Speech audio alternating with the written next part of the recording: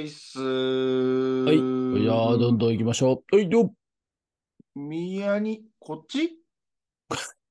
こっち？こっちっすか？こっちっすか？こっちか。ちょっと待ってください。なんかちゃうの？縦横ちゃうの？いや、横あ、なん逆。いやつ。あ、いい？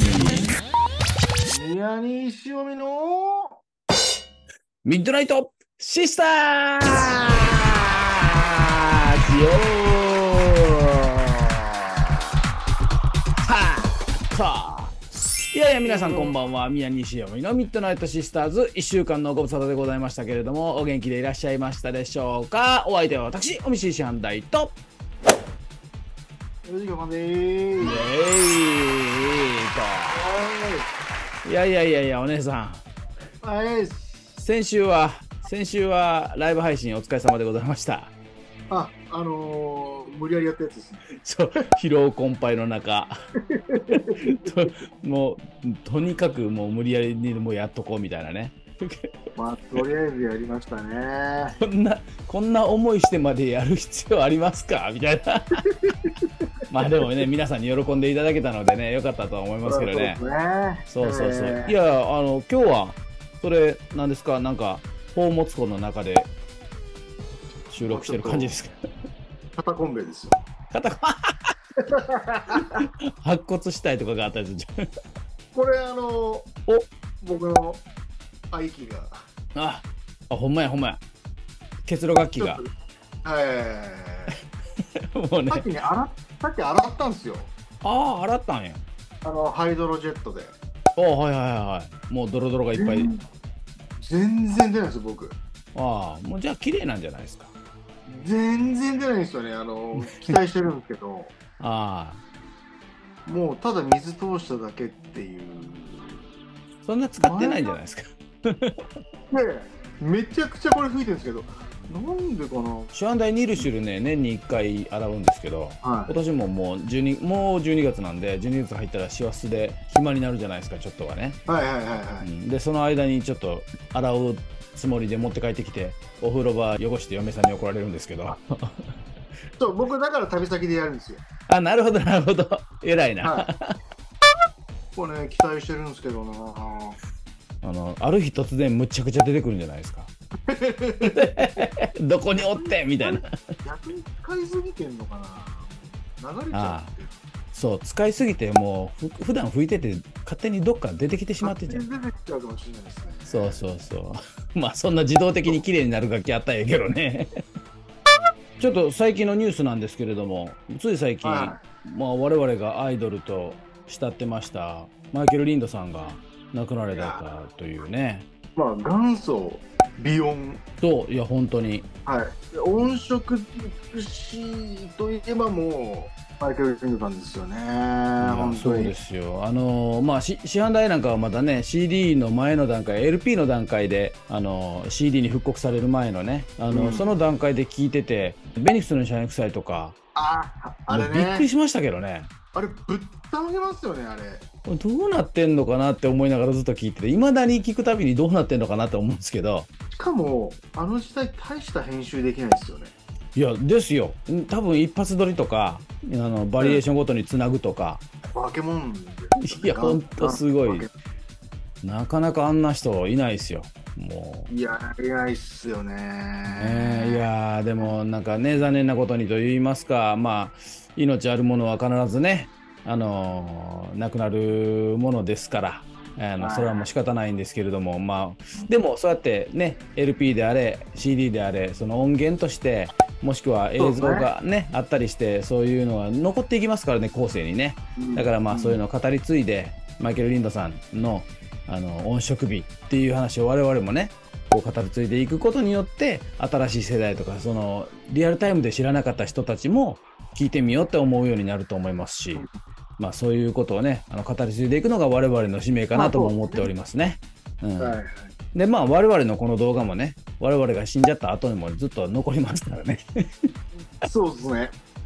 皆さんでね、追悼の意も込めて、あのもう一度 CD とか聞き直していただいてですね、あのリンドさんの音色をもう一回振り返るみたいなね。なんかそういうことをしていただければなと思いますね。今年はボボ先生も亡くなられましたし我々ねそういう音にこう育てていただいた世代の人間からするともうそういうねあの大スターたちをもう思い出して我々はそういう音源をねもう一回聞き直してああやっぱいい音やないいプレイやなっていうのをねあの音源から勉強させていただくみたいな、まあ、そういうチャンスにできればなと思いますけどね。ね。今週はもういよいよあれですよ。えこれもう12月になっちゃう？そうですよ。もう12月に公開してますんで、もう来週がイベントじゃないですか。早いな。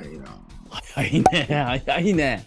いやまあはい。来週が我々のイベント宮西読み感謝祭っていうね12月10日に DAX さんの方で開催されます、えーイベントなんですけどまあずっとお話ししてます通りあの我々のファーストアルバムのレコ発の日ですんで、えーぜひ皆さんねあの参加していただきたいなと思うんですけどあの、まあ、い午後1時から道場ブートキャンプ勉強会みたいなことをさらしさせていただいて、で夜夕方に、えーミニコンサートがあるんですがその間に我々のこのミッドナイトシスターズの公開収録をさせていただく手はずになっております。で、はい。えーっとダックの店長の原田店長といろいろお話もさせていただきまして、まあ、せっかくなんで楽器屋さんのホール借りてやってるから、まあ、楽器を出していただいては比べをしていこうじゃないかっていうお話をねあのちょっとさせていただいてるんですけど今週はちょっとまあどんな楽器を吹いていけばいいのかなっていうことも含め、えー今年2023年をまあ振り返ってはい。我々が注目してた楽器新しい楽器もそうなんですけれどもあ前から出てる機種でとかでもこれよくよいいなと思ったっていうのをちょっと振り返ってトークしてみたいなと思いますんでぜひ皆さん最後までご覧ください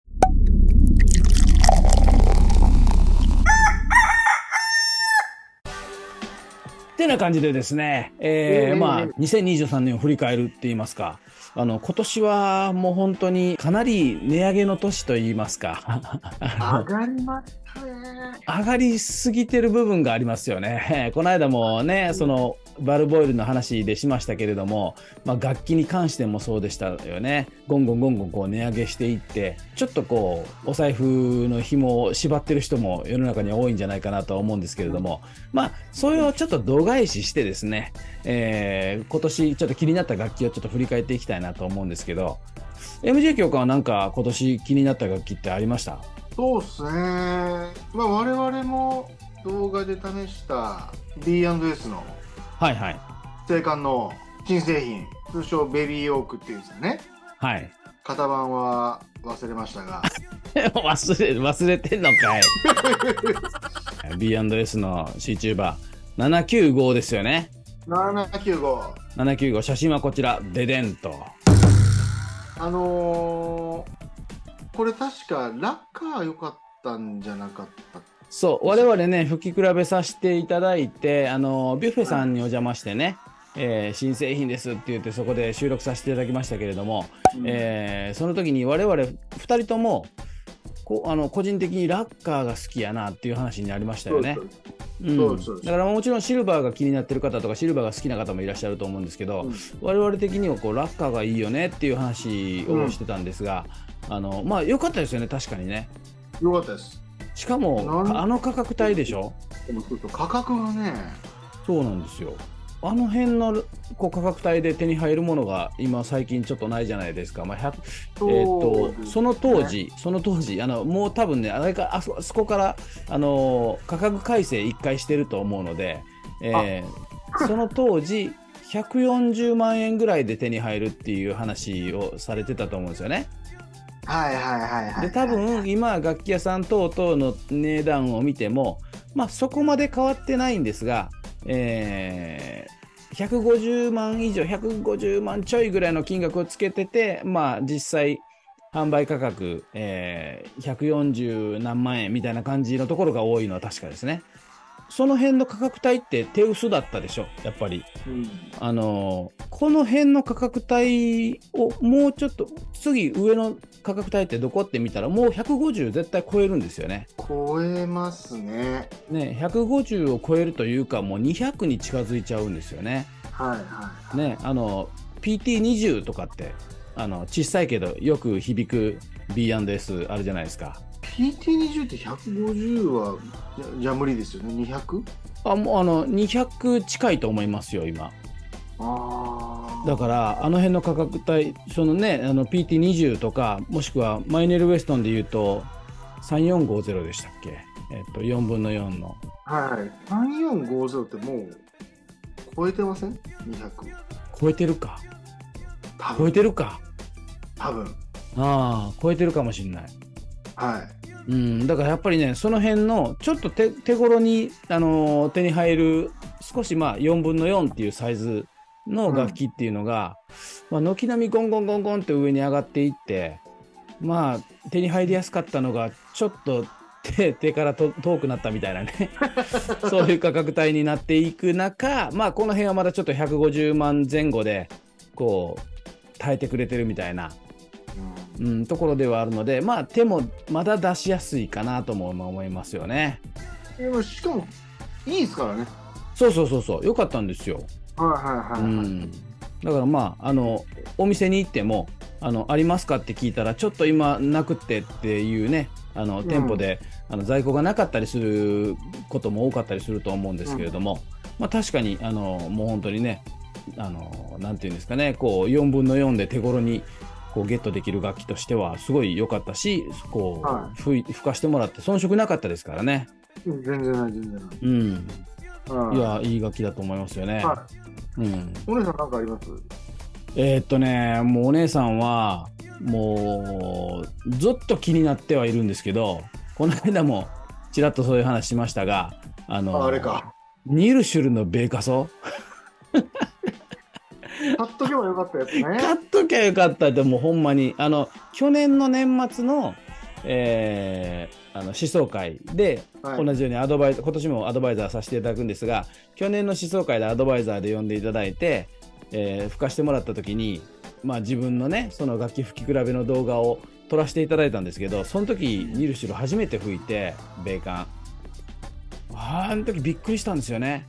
もう。で、いなんぼって聞いたら、170って言うから、これええやんって思ってたんですけど、ファフナー買って1年足らずの時やったんで、あそう。まあ、でファフナーあるしなって思ってたんですけど、ずっとあの水槽感と音色が頭の中にもうこびりついてて、ほんで、値段見るたびにどんどんどんどん釣り上がっていって、今、100万アップでしょ。1年間で。今、ー300近いですよ。いやよかっ270、80まで行ってますからね。た買っときゃよかったってほんまに思いますよね。買っときゃよかったっすねいや、そうなんですよ。まあまあ、でもそんなもんやと思います。もうタイミングってほほんまタイミング命やと思うね。ねニルシュルの米艦って、サンクトを割とモデルにしてるらしいんですよね。え？だからまあ似てるんですよ。はで、その、なんていうんですかね、4分の4のサイズなんだけれども、缶をちょっと太くしてるっていうところがミソですごいいい音色感でよく響いてくれるっていう。なるほどねそう。だからね、あの、ニルシュル欲しいなと思う部分はあるんですけど、ああ、ほんならちょっとサンクトのラッカー買うてみようかなみたいな部分も、一気に手に入りやすくなるそういう一気にちょっとね、親しみが湧いてくるという。はいや、でもね、サンクトの、その、ラッカーもすごいいいんですよ。しかも、45センチじゃなくて、42センチベルの方。あの、えっ、と、せんえっ、と、某横浜のシートラル楽器さんキートロ楽シシートラル楽器さん、シートラル楽器 さんで、あの、選定させていただくことがあるんですけど、は30何本、バーって40本近く並べていただいて、片っ端から吹いていくんですけど、もう自分の中で、これ横綱、これ大関って、こう、横綱大関っていう、あの、小結びとかって、なんか、あの、順番をつけて、はで、どれを選定品として出すかみたいなするんですけど、あの、残ってるの見たら、軒並み42センチベールなんですよランダムで吹いていってもね。うん、で42センチのラッカーがものすごい良くって。であのシートラル楽器さんがあのこっちでプレイヤーに選定してテストしてもらってこういう印象って言われたんやけどって言ったらほんならサンクトが最初から我が社はあのラッカーの小さいベルまあ小さいベルっていうかそれが標準のベルなんで向こうからしたら。日本が大きく作ってくれって言って45センチベルを作ってもらってるだけなので。そう。だからもともと我が社はラッカーの42センチベルが売りっていうことであのそっちに話を持って行ってますよって言われました。っつって。あ あやっぱそうなんや。っつって。うん。結構やっぱみんなね大きいベル欲しくってね買ったりする人もおると思うんですけどうん。トアもそうじゃないですか。あのそうそう。ベル大きくしてどっちかっていうとやっぱ昔のベルの方が良かったな小さいベルの方が良かったなってあのこういうのが大きいですね。多あいでねりますすよね。。うんはい。まあ、市販でも実際吹いてそう思いましたしね。そうそう。僕が持ってたのも45の時のやつし、うん、はい。48だと、なんかちょっとバランスがね、そうなんですよなんかねこうバーって広がってしまうというかなんかブラッシーな感じがするんですよね。うんうんもし、もうめったに出ないですけどね、45。うん。持ってる人試せるんだったら話さないですからね。そうそうそうそう、持ってる人も話さないんで。うん、そうそうそうそうそう。いやそうなんですよね。そうまあだからまあ市販代は今年そうですねずっと頭の中にこびりついてるのはそのニルフィルの米艦ですね。うん、なるほど。なんか他の機種とかありますか？最近ね、はい。まあまあこのこの B&S、まあ、はい改めて3099いいなとは使えば使うほど思うんですけど、はい。F 間でいくとねうん。ファイヤーバードかなお？ミラフォン来ましたか？ミラーフォンいいかなファイヤーバードなんかはい。なんか一周回ってちょっと気になってるっていうお来ました。ユーザーですよ。ファイアバードユーザーですよ。いやそうですよね いやなんかうん。もうみんな大好きジーン・ポコーニ先生のねああ、ジンさん。えね、あの、はいファイアバード使ってますよね、黄色の。そうそうそうそうそう、んいい音するね、また。そうなんですよ、まあ、僕もともとミラフォンあのユーザーだったので、はい。やっぱあのー根底にはミラフォンの音好きな部分があるっていうか、はい。はい。だから独特のあの明るさとうん。音色のなんか美しさがうん。際立ってるなと思ってファイアバード気になっちゃったおちょっと行きますか、ファイアバード。ファイアバードお姉さんズはい。あの、焼き鳥シスターズ。焼き鳥シスターズいいっすよね 焼き鳥シスターズ。あの今僕高松にいるんですけどはいはいはい。鶏めっちゃうまいっすね鳥ね？お親鳥、ひな鳥、どっち食べました？親鳥食べてはい。あのまあ同僚のトランペットの H やしはいはい。兄さんがねはい。ひな食べててうん。ちょっとあの一かけらずつ交換したんですよおーはめっちゃうまくていはい。はい。あれ一個大きいあの本当に手羽って本当の手羽ってでかいのがね。うん、うん。はいで僕またひなた頼みましたよ あれ1個食べたら、1つ食べたら結構な量ですよ。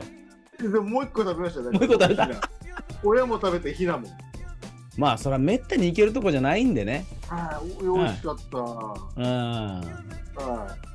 いでなんだっけ？あじゃあファイヤフーバードファイヤーバね。ードはいいやいいなと思って。なるほどね。いや、まあそうなんですよ。あの市販代今ね、あの気に入ってエレクトラも使ってるんですけど、ファイアバードもまあ持ってて、えっと、オケの中で使ったりもしてるんですよね。で、うん。あのエレクトラとファイアバード、やっぱり元ファイアバード吹きなので、で、ファイアバードとエレクトラ比較すると、エレクトラの方がどっちかというと、ちょっとサウンドに特化してるといいますか、フファイアバードの方が少し音色に特化してて、少しそれに広がりを与えていくっていう、だからどちらかというと、まあもちろん3099もまだ持ってるんで、あのうん。比較していくと、3099とファイヤーバードの間にエレクトラがあるみたいな、ああそうですね。そういう位置づけな感じがするんですよね。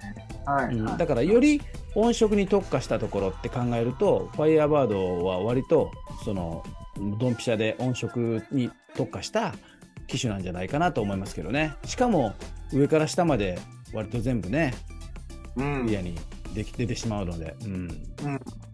いやあの音色がだから重すぎずはい。いいなぁと思ってそうですね。うんこれあの「めー」って入れてほしい入れなきゃいけなくなると思うんですけど、はいはいはい。お姉さんこの間持ってきたやつだ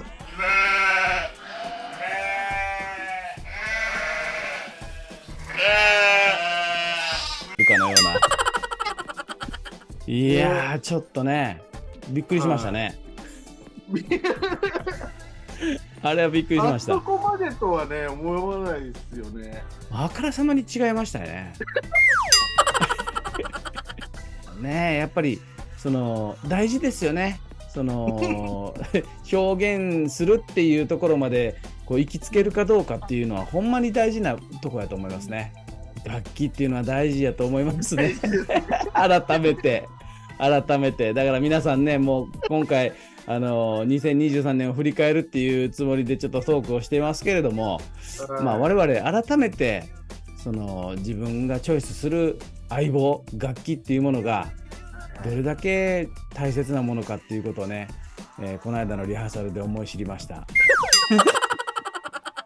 もうお互いにあのこの今回ね CD 作る時にもねそのレコーディングエンジニアの森さんとかにも、あのーはお話ありましたけど、あのーねその2人で吹いてて別の楽器使ってるしマウスピースも違うのにどっちがどっちのセーブ吹いてるのかが全然わからなくなるっていう話をうん。されてましたよね。あだからまあ頭の中にイメージしてるものがよっぽど似てるんやと思うんですけど、うん。同じとこ見て、うん。向いてるんだと思うんですけどそれが、その2人が例えば同じ楽器でファイヤーバードを持ってアンサンブルし始めたらどうなるのかっていう今話しててちょっとね。それは面白そうだ。いやきっと面白いと思いますよ。まあ3099市販台も持ってるのではいはいはい2人で3099シスターズするのもありやと思いますし。うん。うん。ね、で2人でファイヤーバード、ね、焼き鳥シスターズするのもうんありやと思いますし、なんか揃えてみるっていうのは一つなんか面白みが出てくるかもしれないなと。まあとりあえずブルックナーシスターズはできるんで、そうブルックナーズができますからね。はい、ブルックナーズはできるので今度やってみてもいい、そうですね。あのそれもねあのもうピカピカのあのはい。ブルックナーとドロドロのブルックナーですからね ドロドロドロドロのブもう究極にドロドロのブルックナー持ってきますからね。はいやいやまあまあそんな感じでねえっ、とまあね、2023年をちょっと振り返りながら今回はその気になる楽器をちょっとトークさせてもらいましたけどまあこの続きは公開収録の時にぜひ皆さんねた一緒に楽しみながら同じ空間で、えー公開収録してで楽器をいろいろ出していただいて吹き比べながら、えーまあその辺のうんちくるの話も含めえー我々のねそういう楽器のその裏話も含めいろんなことが皆さんと一緒にトークしながら、えー楽しい時間を過ごせればなと思いますので、えー宣伝になりますけれども12月10日ね宮西読み感謝祭、えー、ダクさんのスペースブーの方で開催させていただきますので、えー皆さんどうぞお集まりいただきますようどうぞよろしくお願い申し上げます。この「めー」のところが聞けるかもよ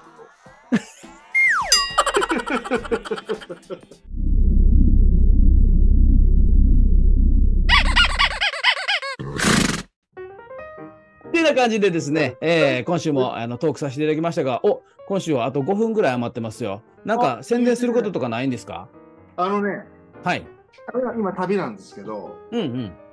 僕のスーツケースに、うんこれ見えるかな？見えなかった。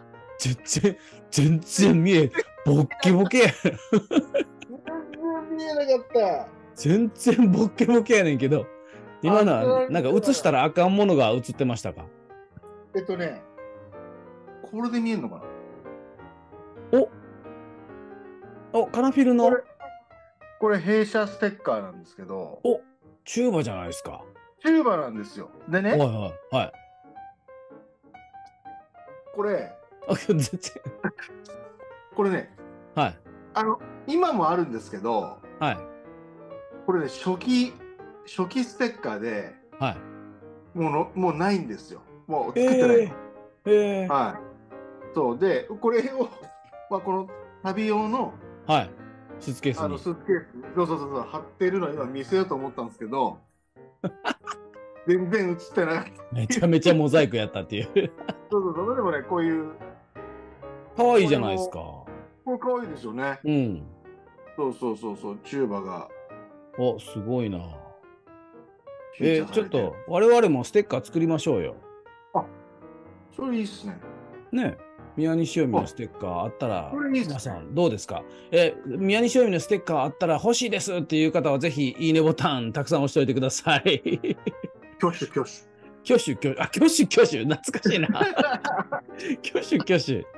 ねえ。挙手挙手。いや、はい。挙手挙手をもう本当に。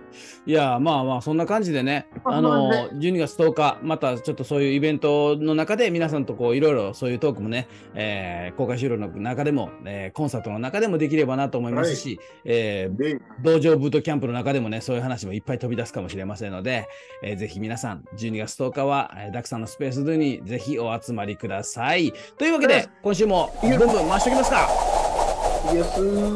よっ宮西読みのミッドナイトシスターズでした。皆さんありがとうございました。おやすみなさい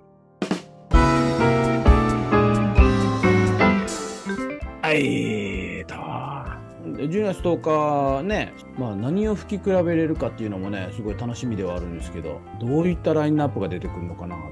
逆にね、なんか我々も、はいそう我々もわからないし皆さんなんかこういうの聞いてみたいっていうのがあったらぜひねあのコメント欄に残しておいていただけましたら、はい。こういう楽器吹き比べてほしいんですみたいなねあのダクさんのその公開収録の時にねあの、はいお願いして出していただけるんでしたらそのね皆さんのこうリクエストが多かった順番にちょっとお願いできればなとも思ってたりしますんで、ぜひコメント欄にね、い、っぱい残しておいてください。ダメ元でガンガンコメント書いておいてください。よろしくお願いします。お願いします